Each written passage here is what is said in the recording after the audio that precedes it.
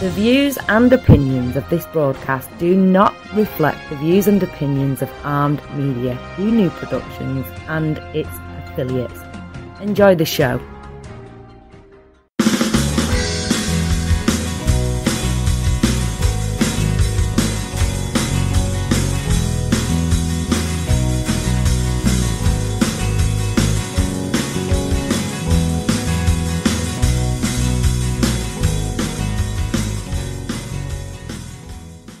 Good evening and welcome to the Leadership with Biana Kovic show. And thank you for being with us tonight. We hope that our conversations will help you become more effective and reflective when it comes to your own leadership practices and enable you to leave a positive legacy. Our very special guest is Naftali Hoff, Doctor of Psychology and the President of Impactful Coaching and Consulting. Naftali is an accomplished executive coach, organizational consultant, and a sought after trainer and a lecturer. Naftali holds two master's degrees in education and in educational leadership and a doctorate in human and organizational psychology. Naftali is the proud author of Becoming the New Boss, a leadership book that seeks to help new leaders hit the ground running and enjoy sustained success. Naftali, welcome to the show. Hey, Biana, great to be with you. Naftali, I'm very excited to have you on the show. You are an executive coach. You're also the president of Impactful Coaching and Consulting.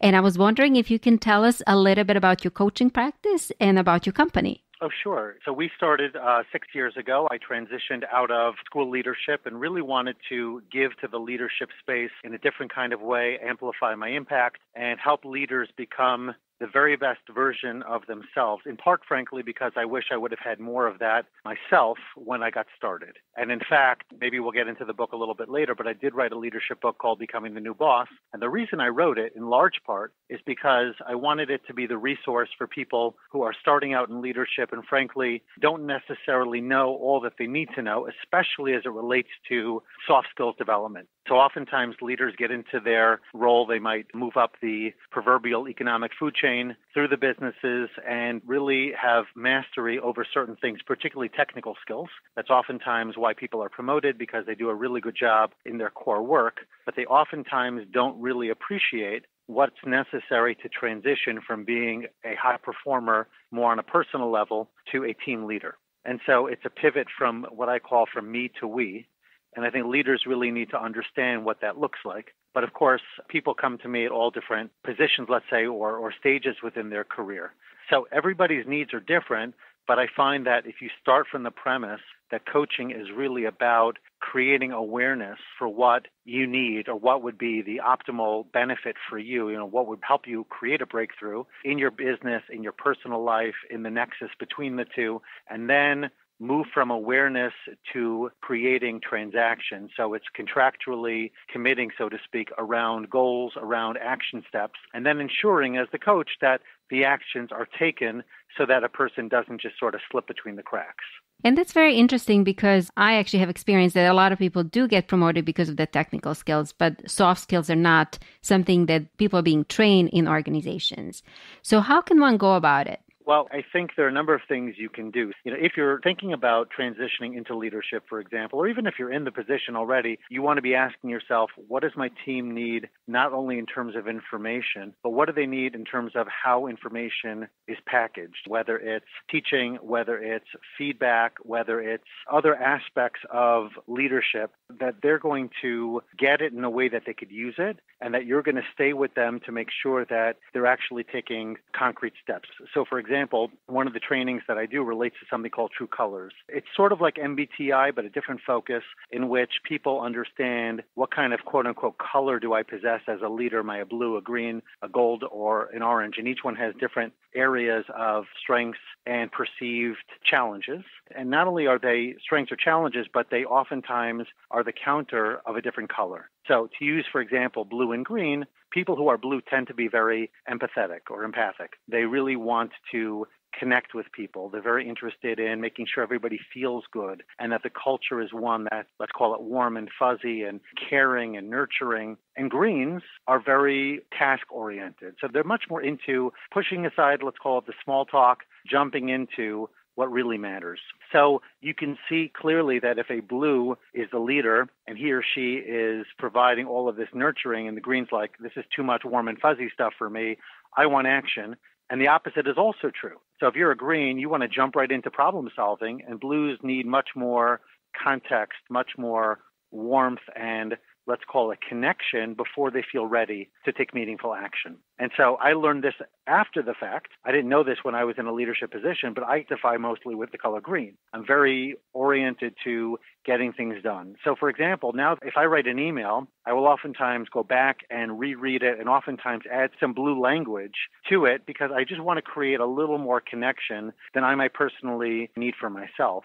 But it's about getting beyond yourself, thinking about what does the team need as a whole, and what do individual members of the team perhaps need? And all of that really comes from, I think, self awareness. Who am I as a leader? What is my orientation? I happen to be introverted. I like when my door is closed. The leader that I followed in the school that I led was for sure extroverted. He loved the door open. He was a big time people person, loved to engage with people all the time, high energy. But I needed my space and I needed my door closed sometimes. And I think people saw that as standoffish, distant. And frankly, if I would have known, it doesn't mean I'm going to try to become a different person, but minimally what I want to do in that case is educate others to who I am so that they can interpret it, not that I'm not interested in them, but I need this kind of recharge in order to do my best work. So oftentimes it's not only knowing who you are, knowing who others are, and kind of working in that framework, but it's also educating them so that when you do certain things, they don't take it as disinterest or worse because they're not reading the tea leaves correctly.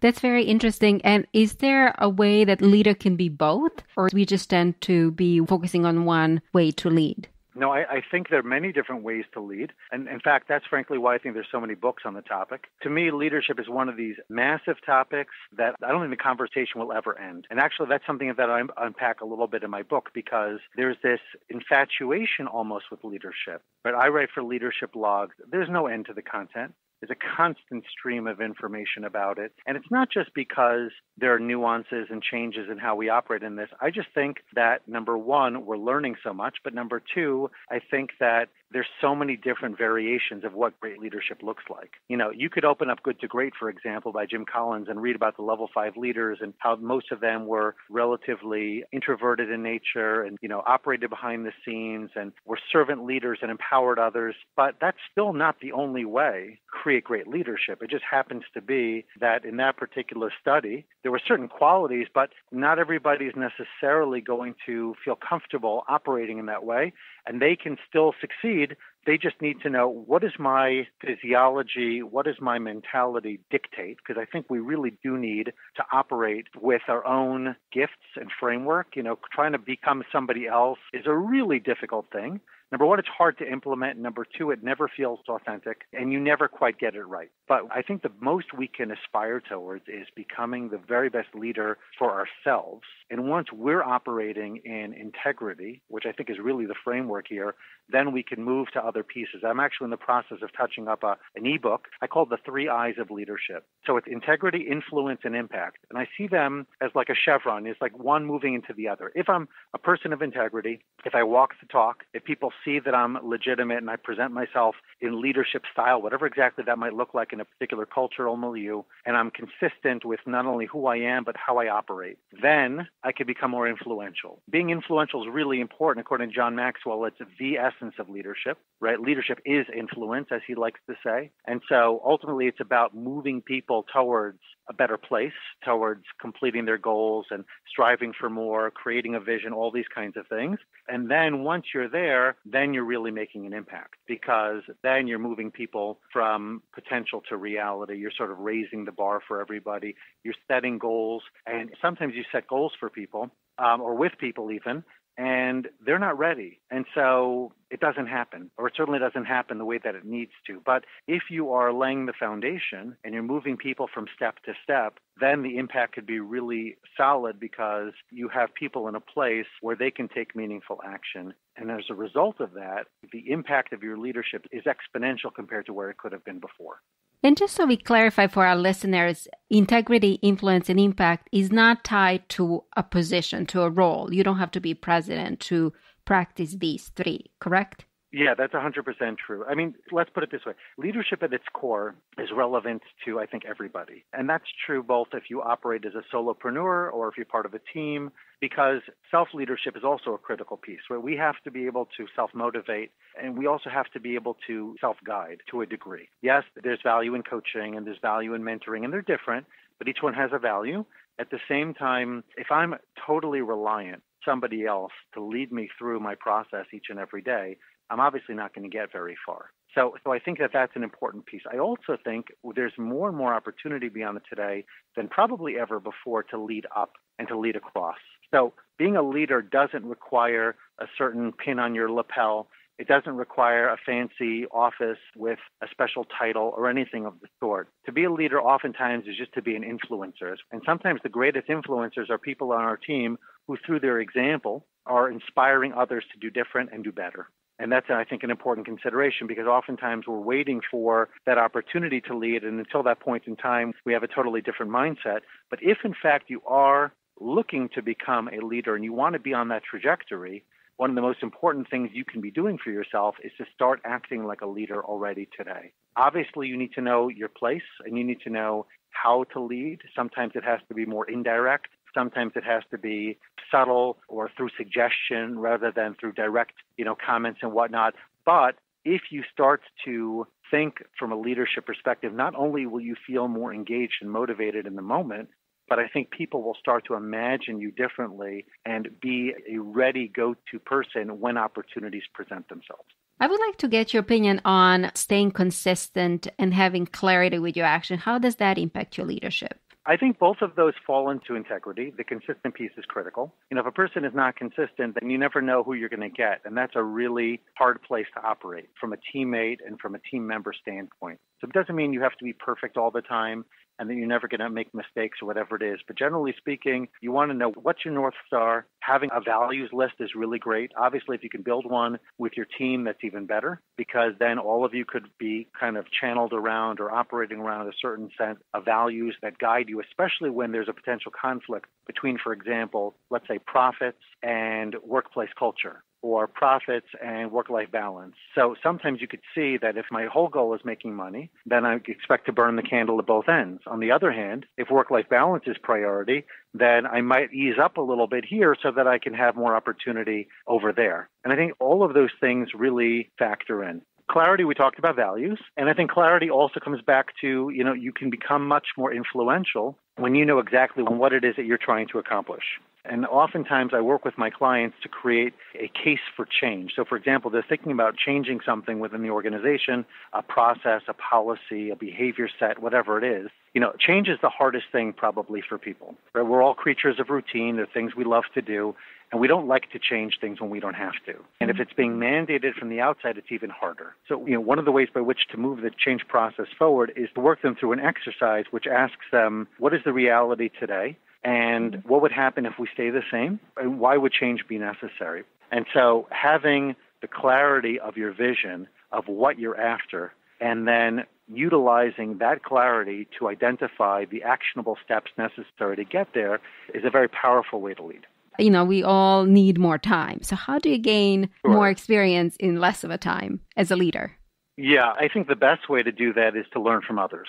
I get uh, comments from my wife oftentimes because I say this one very frequently. It's a story that I include in the book, but it really captures the essence of what you're mm-hmm. asking. It's where a, uh, a reporter comes to a professional, seasoned executive, let's call him a banker, and he says, Sir, you've been super successful your entire life. You've done one great thing after another. You're very wealthy. Your company is widely popular and recognized, and all of this.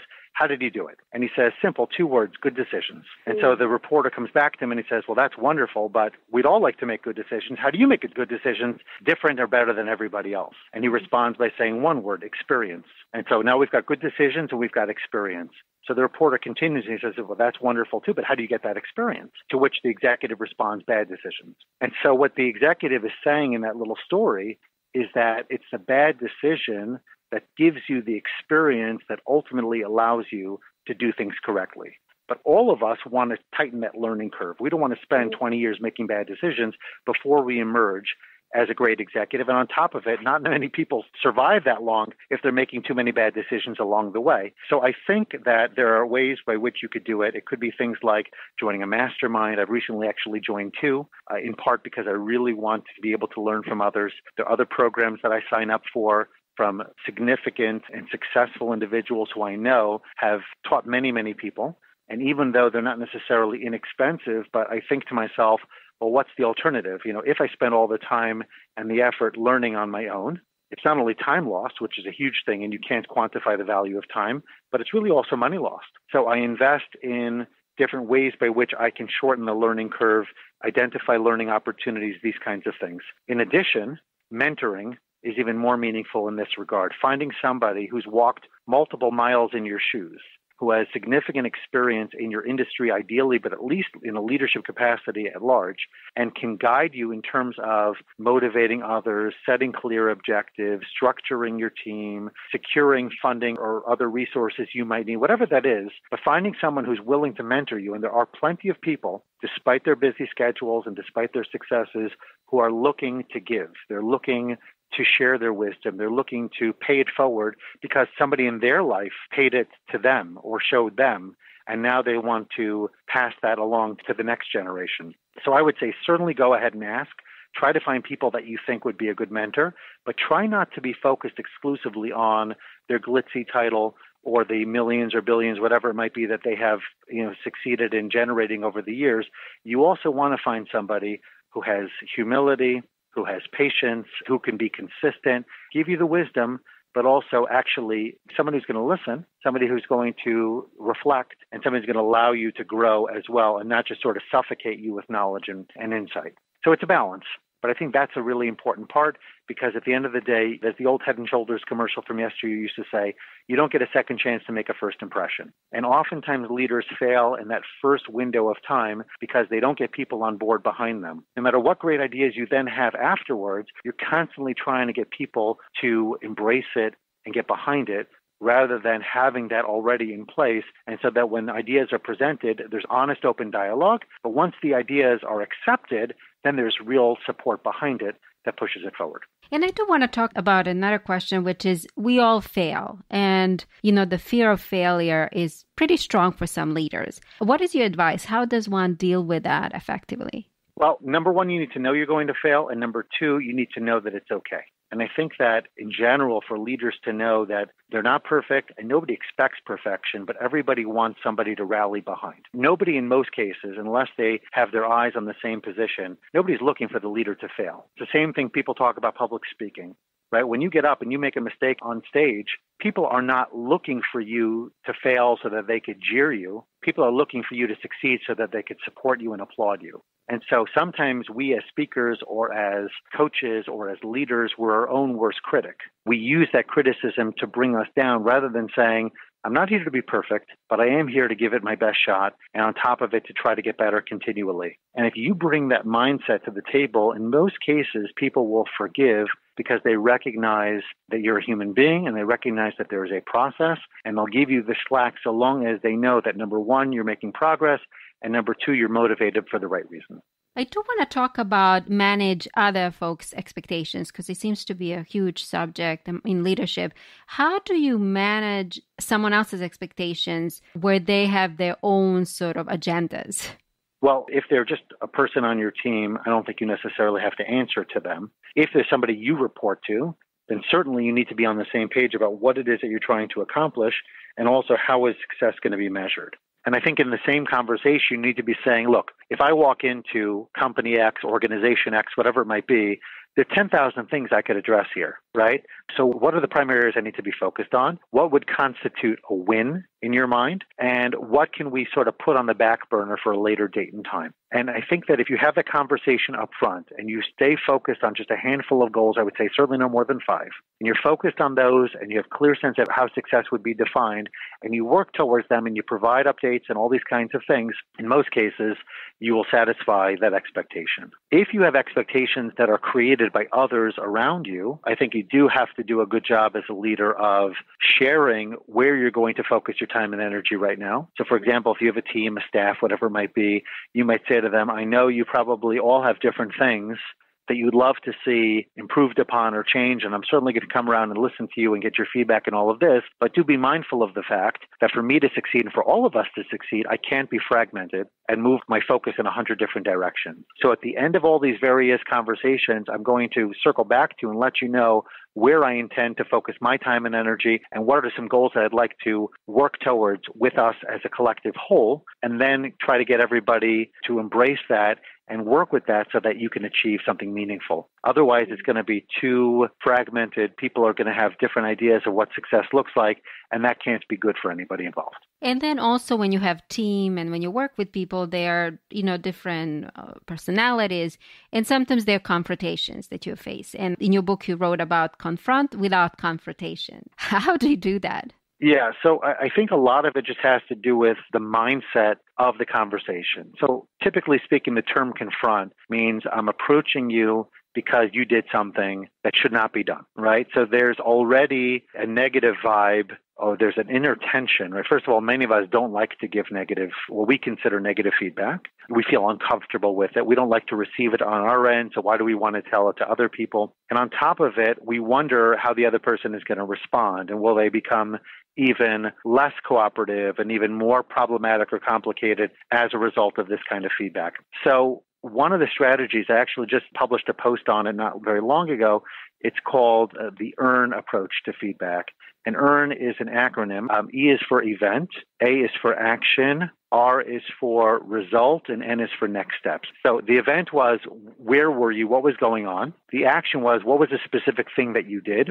The result of that was what is the outcome of what you did?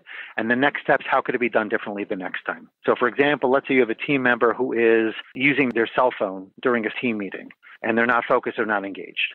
So the comment might be something along the lines of At our last meeting, that was the event, you took out your phone and started texting someone while we were having conversation. That's the action. The result of that is that you weren't able to really focus on the conversation, and others around you noticed it as well, and I think felt a little bit uncomfortable. Next time, please consider just leaving your phone at your desk or dropping it off at the secretary so that you're 100% on board when we meet. So it's not being confrontational. It's coming from an empathetic place of this isn't the real you, trying to understand before sharing any type of what might be considered as criticism. So seek to understand. Yeah, well, it's more, I want to understand the reality. Is there something about the picture that I don't know that would change my perspective that if I knew it, I would take a different tone entirely. So to use Covey's idea of the paradigm shift, the story that he talks about in his book about the kids running around the train on his way out from New York City and he's on this train and the father's there and the kids are running around and they're just making a whole ruckus and he's all bent out of shape because he wants to have a relaxing train ride home and he approaches the father and says, you know, you really should do something about your kids. And the father, who is like lost in thought, kind of hunched over on this seat, picks up his eyes and he says, you know, you're right. I really should. We're just coming back from the hospital. The kids just lost their mother this morning. So he was like totally taken aback. And then he starts to offer services and help and whatever is because that one piece of information that he didn't have turned the father from an irresponsible idiot, let's say, to an overwhelmed single parent who is mourning and grieving for a lost spouse. And sometimes it's just about learning what you don't know that makes all the difference in terms of how you go ahead and engage with somebody moving forward. Interesting. And I would also say engage in a proper listening because sometimes we ask questions, but we do not listen. Correct. So, one of the techniques that I recommend with good listening is to mirror back what you heard or to ask follow up questions. So, you say, This is what I think I heard. Is that right? Is there anything you'd like to add or change? And then make sure that when you respond to confirm with the person who's speaking to you that what you said actually addressed their concern or their situation because we think we hear, you know, correctly. The reality is that oftentimes we don't really know what the person is asking. So even though 95% of the time we'll get it right, there's always that 5% where we won't. And by asking that person before you move on, did I answer your question? Can make a big difference in terms of them feeling heard and uh, comforted by the steps that you plan to take. And to add to that, each of us makes different meanings of the conversation. Oh, absolutely, we do. And sometimes that meaning is consistent with other people, sometimes it's different. And again, being humble enough to know that we don't necessarily know and that there may be another way to look at it is an important lesson and frankly another lesson that I learned over time. Sometimes you get like a, a scalding or what you think is a critique and maybe in, especially email or something similar where it feels very impersonal and you feel like, oh, I'll just shoot back my own version of that. We have to be very careful, especially with electronic communication. Oftentimes I used to show it to somebody else before I'd send it to make sure that other people would read it the way I intend it. But in most cases, I would try to take the conversation directly to the other person because I feel that so much is lost in translation. And ideally, you want to see the person face to face if you can, because there's a whole element of nonverbals and body language that you cannot capture even by phone. So, phone is better than text, but in person is better than both. And what I'm hearing is be objective. Don't do this when you are in the heat of a moment as much as you can. You know, there are times where you need to take immediate action or response, but in most cases, you want to be operating in what we call quadrant two of the urgent important matrix, always thinking about what's important but not urgent, and then taking deliberate action along those lines. So whether that's from a strategic standpoint, which is really where the matrix belongs, or even in terms of our conversation, if you think if there's any element of emotion, take a little bit of time, you know, decompress, find a way by which to have the conversation. Try to also, when you're doing that, get into the other person's mind as much much as you can. Ask if there's something else, like we said before, that you don't know, and then use that information to make the very best decision that you can as a leader. Any final thoughts? Final thought I would say is always be a lifelong learner. Be humble enough to know that you don't know everything and find people who can help you and be willing to ask even beneath you because at the end of the day, it's not so much about where on the hierarchy, let's say, you get your information. The most important thing is that you get it and that you use it for the benefit of yourself and your team. Wonderful. I know your book is available on Amazon, Becoming Indeed the New is. Boss.